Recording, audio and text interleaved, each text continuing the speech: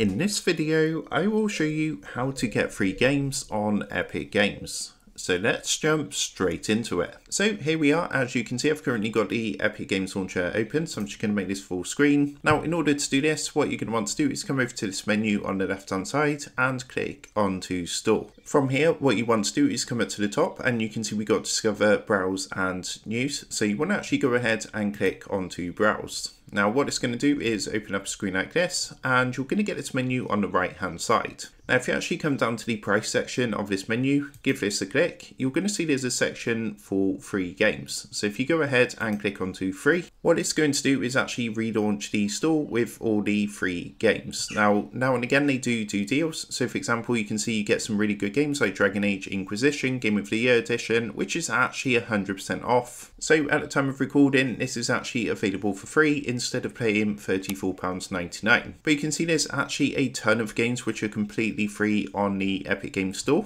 and you don't have to pay anything. You can just literally click onto any of these. So for example, if we take Mincho, I'm just going to give this a click and what you would do once you clicked onto the game is you're going to get the game page load through and if you come over to the right hand side you can see this is free. This is a base game so it's not just DLC, this is an actual full game. So all you want to do is press the blue get button here and what that's going to do is take you to the order screen as you can see the price over here says zero, so this is completely free and you just want to come down and click the blue place order button and then just agree to the terms and the refund information. So it just takes a minute or two now. And once that's been confirmed, you're going to get the order confirmation saying thanks for your order. And if we go to view in library, you can see we now have this game and we can install this onto our PC and we have not paid a single penny. So that is how to get free games on Epic Games. With that being said, I hope this quick tutorial did help you out today.